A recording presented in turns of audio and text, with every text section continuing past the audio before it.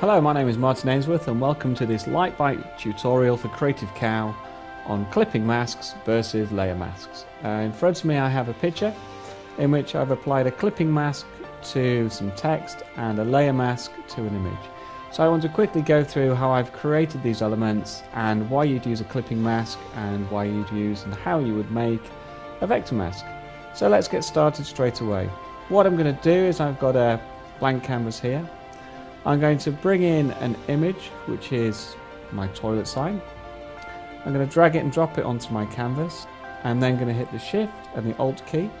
I'm going to left click and drag the image to the size that I want it to be and then going to press return key to confirm these changes and then using the move tool I'm going to move it over to the left hand side. I'm then going to write with my type tool the word toilet. I'm going to use the move tool and I'm going to click, left click and drag it to the side of the sign and then going to click on the word toilet in my layers panel I'm going to drag it down to the create new layer. So as I've just made a duplicate of this, I'm going to double click it. I'm going to type in women's. I'm just going to left click the layer, hold the shift key and drag it down. And then going to left click on my layer, drag it down to the new layer icon, double click on the layer that I want to change and type in men's. Left click the layer, hold the shift key and drag it down. Okay, white's a little bit on the boring side, so I'm just going to grab the rectangle tool here and I'm going to click and drag across the outside.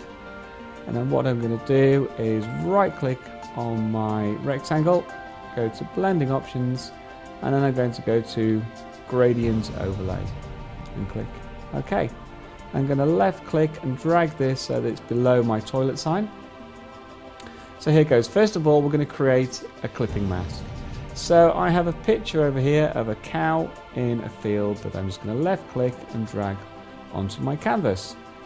I'm going to move the cow so it's about there for me underneath the word toilet. I'm going to hit the return key to accept the change. And what I'm going to do is I'm going to click and drag the cow to above the word toilet and then going to go to layer and create clipping mask. What that now has done, it has created a clipping mask using the word toilet. I know that it's a clipping mask because I've got the little down arrow that says that it's been clipped to this particular layer here of toilet. I can actually grab hold of the cow inner field layer. I can, using the move tool, I can move that image around so I can position it just where I want it to be. And if I also go edit free transform, I can actually grab and drag this image to reshape it where to where I want it to be. I can also right click on my toilet text layer. I can go to blending options. I can go to stroke and I can put a stroke around the outside of my text. So here we go, I'm going to put a white stroke that is 10 pixels wide around the outside. Now the advantage of a clipping mask, so using the image to clip the word toilet, is if I want to, this is still a fully editable text layer. So I can go to the word toilet and I can double click it and I can add or remove anything that I want and it still remains editable. So here we go. So what I'm going to do is I'm just going to select my background layer. I do this because sometimes when we drag an image in, what can happen is if I've got the word toilet selected, and I go and grab this CJPEG and drop it in, it places itself between the clipping mask and the text and ruins our effects. So let's just take that picture, press the escape key and say no. So we're going to select the background layer or the layer that we want to put it on top of. So here I'm going to go for the women. I've selected the women's layer. I'm going to go for the star fields. So I'm going to drag the star field onto my canvas. I'm going to place it about where I want it to be, hit the return key, then I'm going to go to layer, create clipping mask, and there we go. I'm going to right click on my text layer, go to my blending options, get a stroke, strokes, click on the word stroke to activate the panel for the stroke, make it 10 pixels wide and change the colour to white. So very quickly click OK. I'm going to go to the men's layer. I'm going to go and grab the forest. So left click and drag the forest down on top of here. Position it where I want it to be. Press return key to accept the changes.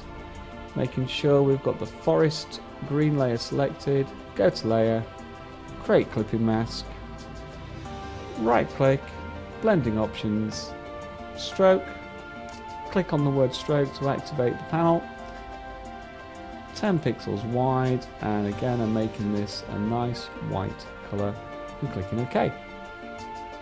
So that's using a clipping mask on text to reveal a picture and use the text as the outline. So now what I want to do is I want to be able to use a vector mask or a layer mask on the toilet sign just here. So first of all I'm going to click and drag the C picture onto my canvas. I'm going to press the return key to accept the changes there and then I'm going to left click and drag in the layers panel to put the C below the toilet sign. I'm going to select the toilet sign. I'm going to go to my magic wand. And with contiguous unselected I'm going to click on the black in my picture.